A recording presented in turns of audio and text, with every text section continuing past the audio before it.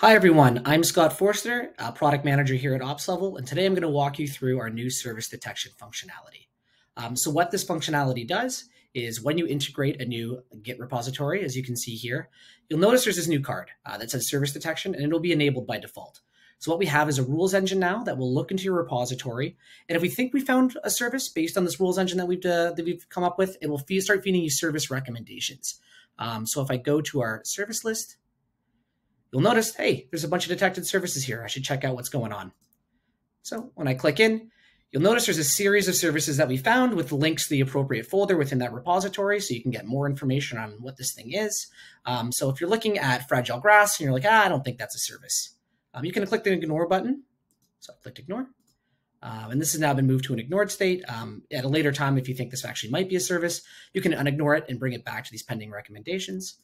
So if I go back to pending and I actually think, hey, I think heavy dinosaurs is a service, um, I can accept that. So if I click accept and I go back to the service list, you will notice that heavy dinosaurs is now a service that we found for you.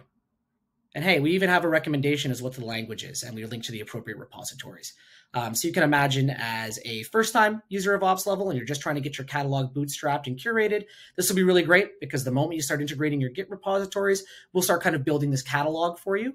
And if you're an existing customer, this is a great housekeeping tool. Um, we're going to continually be looking for things that you might have missed, um, so you can add them back into your catalog.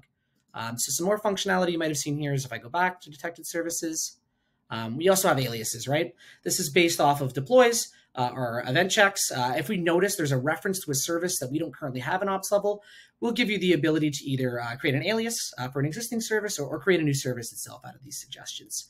Um, so there's lots of places we hope to take this functionality in the future. Um, we want to integrate a whole bunch of other tools like APM tools or Kubernetes as a way to build kind of more robust recommendations um, for your catalog, as well as maybe even give customers the ability to create their own rules engines. Um, so we can sort of tailor the recommendations we're giving you based on your organization's best practice.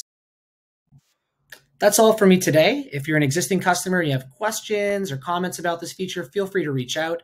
Uh, and if you're new to OpsLevel and you're intrigued by what you've seen, uh, please go to opslevel.com and check it out. Uh, we're offering a free 30 day trial.